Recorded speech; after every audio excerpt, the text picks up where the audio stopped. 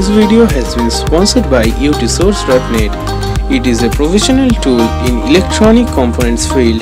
UTSource provides different type of things such as ICs, modules, RF transistors and much more. For this project, I have ordered some components from their website and you can see the quality. It is just great and I have only paid few dollars. Check out the UTSource website from the link in the description box below.